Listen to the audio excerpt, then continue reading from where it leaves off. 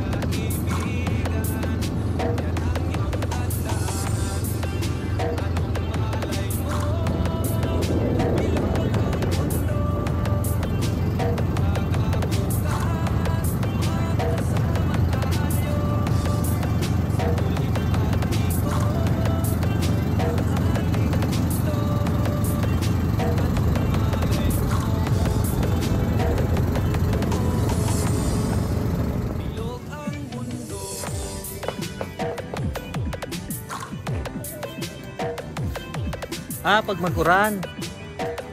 Yun, pag mag-uran. Ah, okay.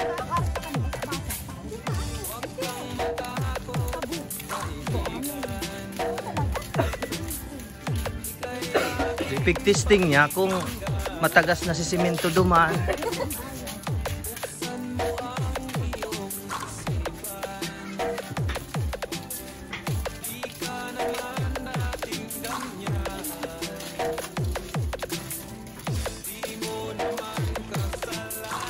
A few moments later.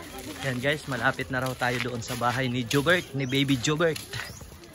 Ayan, ang batang pinagawa natin ng kubo dito at saka pinaopera natin ang kanyang ano labi para makapag ah, laro siya makasalamuha niya ang mga kapwa niya bata na normal ayan nandito daw siya nandito na Ayun na, si Jobert, tumatakbo na.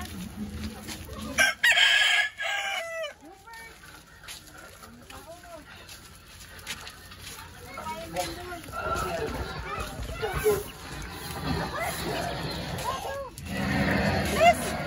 Ano na siya na naman? Alok na naman sa tao. Jobert, dito mati, oh. Ah, mama niya po. Jobert bilis na oh. Bistado mo ako? Ha? Ayan siya po guys ang batang ah, pinaopera natin ang kanyang ano, ang kanyang labi para makapaglaro ng normal at ah, Robert, si Tito Mandy. hindi mabubuli. Hindi mo pasalubong sa'yo si Tito Mandy. Liman mo, may chinelas ka. Ayan.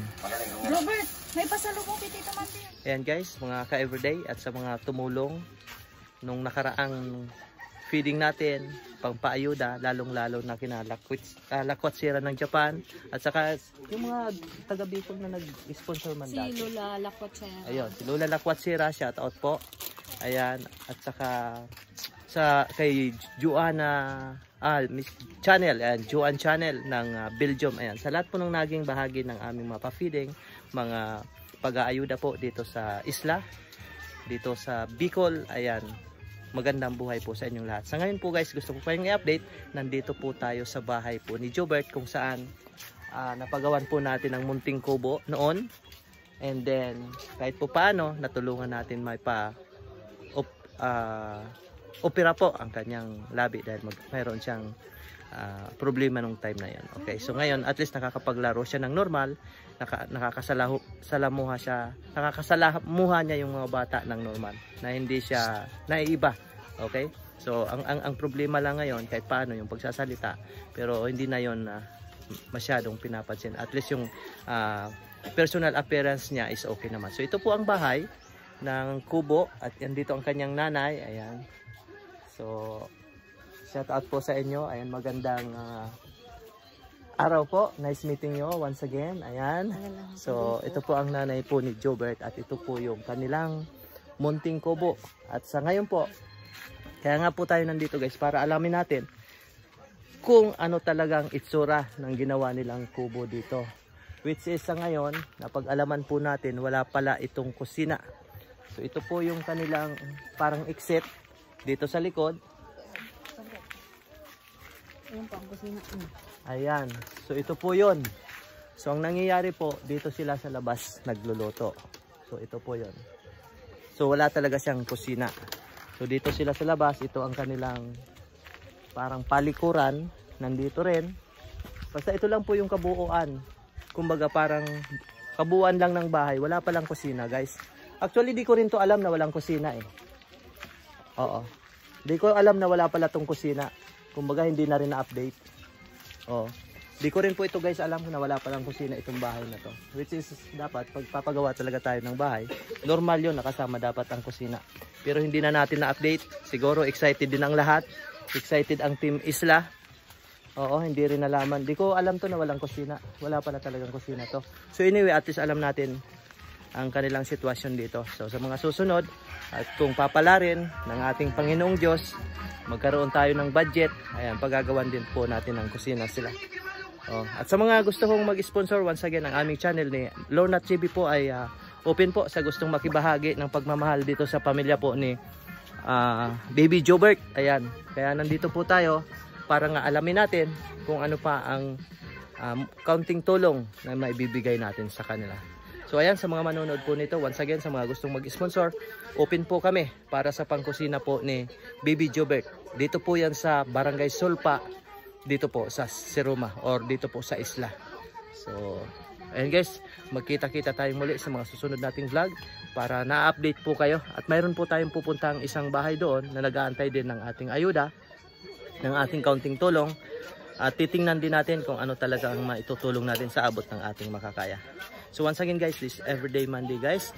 At ako'y muling nagpapasalamat sa inyong ah, walang sawang suporta, lalong-lalo na po ang Team Isla. O, kasi sila po ang ating mga coordinator sa pagtulong po dito. So see you all guys. God bless.